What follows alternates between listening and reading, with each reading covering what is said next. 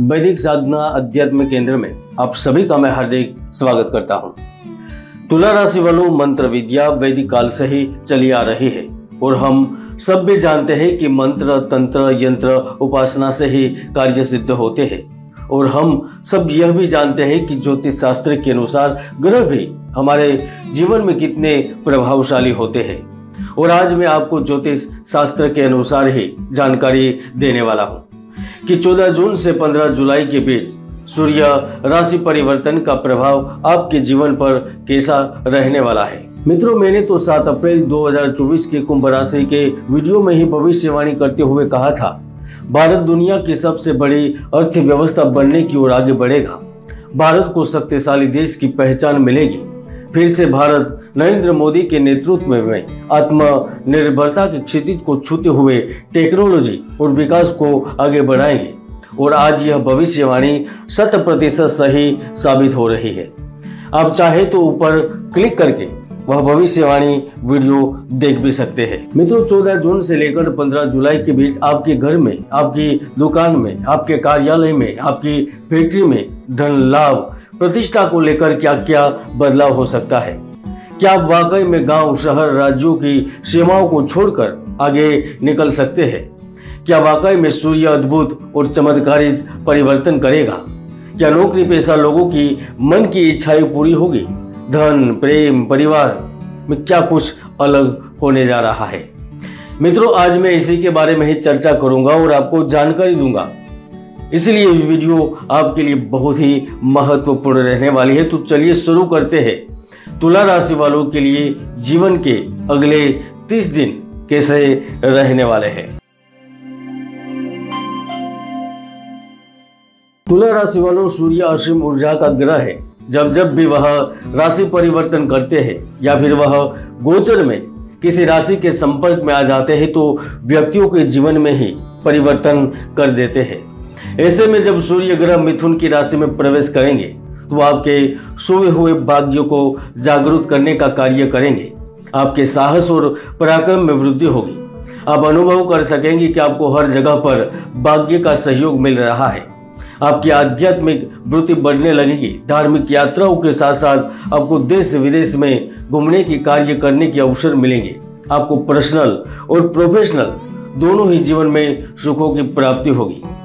मित्रों सूर्य देव आपके नवम भाव में ही गोचर करेंगे और जन्म पत्रिका में नवम भाव भाग्य का होता है, यात्रा का होता है, संन्यास का होता है, सोचे हुए सपनों को पूर्ण करने का होता है।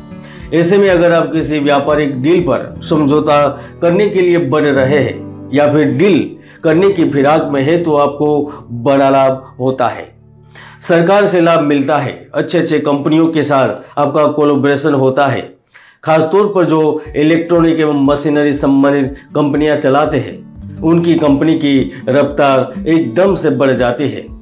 आपके प्रोडक्ट बिकने लगते हैं। मित्रों, जन्म कुंडली में नवम भाव ससुराल पक्ष से सहयोग के साथ साथ परदेशी व्यक्ति से मिलने वाले लाभ का भी होता है।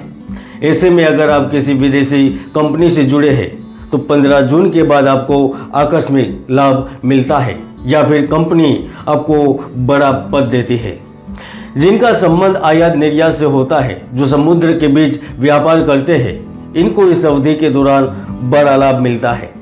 जो लोग लोन लेकर कार्य का प्रारंभ करना चाहते हैं, उनके भी प्रयास सफल होते हैं। जिनका कार्य स्पोर्ट्स से संबंधित होता है, वह स्वर्ण पदक या फिर रजत पदक भी प्राप्त करते हैं। जो व्यक्ति कितना भी प्रयास करने पर भी दरिद्रता से पीछा नहीं छुड़ा पा रहे थे, वह सारे लोग इस मिथुन संक्रांति में अपनी ज़िंदगी बदल लेते हैं। आपको आजीविका प्राप्त करने का संसाधन मिलता है। आप अपनी विद्याओं के बल पर नौकरी प्राप्त करते हैं। आपको इंटरव्यू में भी सफलता मिलती है। आप ऐसी जगह पर निवेश करने पर भी मजबूर होते हैं, जहाँ पर आपको अप्रत्याशित रूप से लाभ मिलता है, यानी कि धन मिलता है। मित्रों 14 जून से सूर्य आपके लाभ भाव के स्वामी हो रहे हैं तो वो गवर्नमेंट जॉब या फिर सरकारी किसी स्कीम से भी लाभ देने का अवसर प्रदान करते हैं।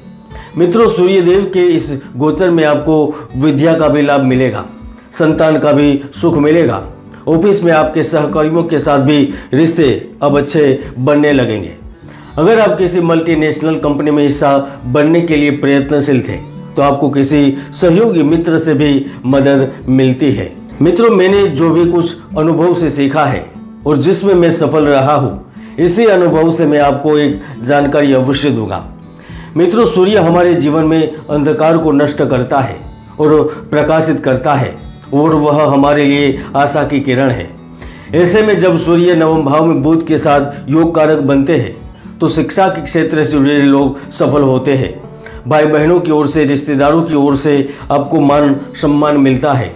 आपको व्यापार के लिए कोई अच्छा साझेदार भी प्राप्त होता है। मित्रों, याद रखिए, सूर्य केवल आत्मा और सत्ता का कारक नहीं है।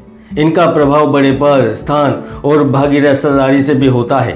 और अगर सूर्य आपकी कुंडली में मज़बूत होगा और कोई पाप ग्रहों की युति नहीं बन रही होगी तो आप सात समुद्र पार भी अपने सपने को पूर्ण कर सकेंगे। और ये मेरे, ये और मैं, ये मेरे अनुभव से कह रहा हूँ।